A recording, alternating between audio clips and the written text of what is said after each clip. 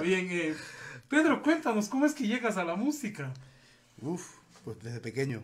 También. Sí, desde- siempre me gustaba la música y cuando me preguntaban qué quería ser de, de mayor, oye, que no encontraba nada. Y de repente me enter- enteré que existía una carrera. Oye, existe una carrera, musicología. Digo, ah, existe una carrera para eso.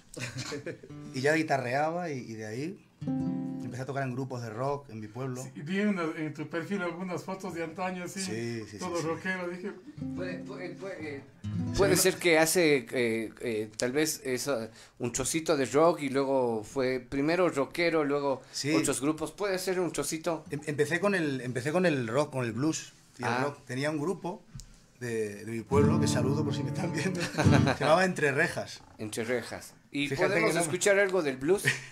Claro, hombre. Y era- claro. y Solo un trocito. Era como blues, rock and roll, y, y hacíamos como en plan...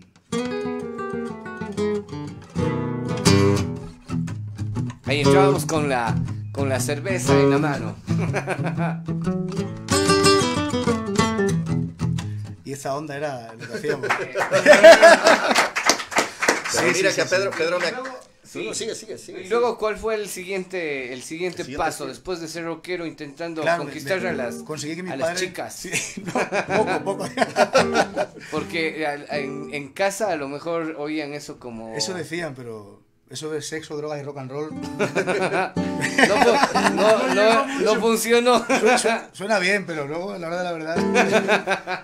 Entonces luego me cambié un poco, nunca dejé el, el- el blues y el rock es lo que más me. Creo que lo- es mi base más fuerte. Pero luego empecé con la clásica un poquito. Empecé con.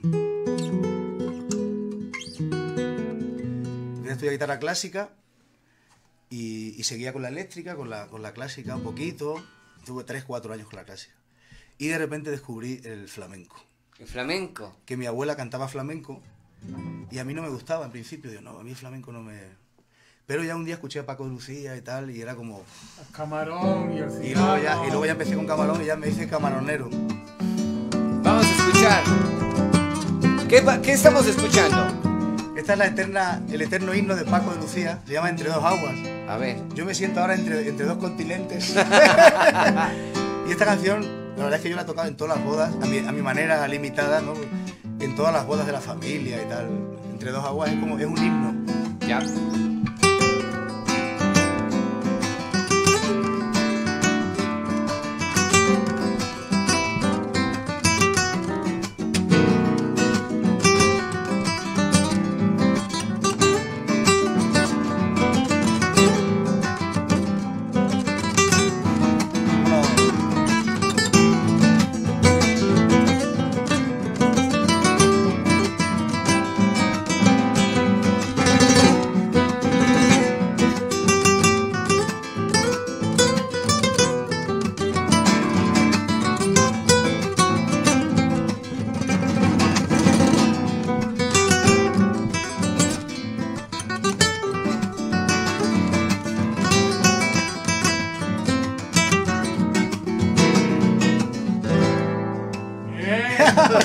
Podemos seguir, como he improvisado.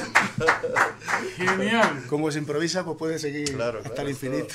El Te visto mucho con el tema de flamenco, te- Sí, sí, con sí, varios de los grupos y en los ensambles medio, Sí, sí, medio, me- medio geniales. Y además mezclamos eso, flamenco, jazz, clásica, es un poco una mezcla. Yo no puedo evitarlo, no puedo, o sea, no puedo. Tengo un amigo que me decía, oye, no eres, o sea, no eres de un estilo, ¿no? Y digo, pues no, no puedo.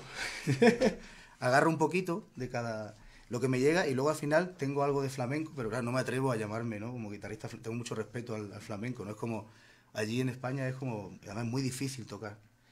Entonces agarro, bebo de esa fuente y me, llega y, cojo un poquito, me gusta el jazz. Estudié jazz también, otra época, y cogí un poquito de ahí. Y luego ya co- conocí a Marco.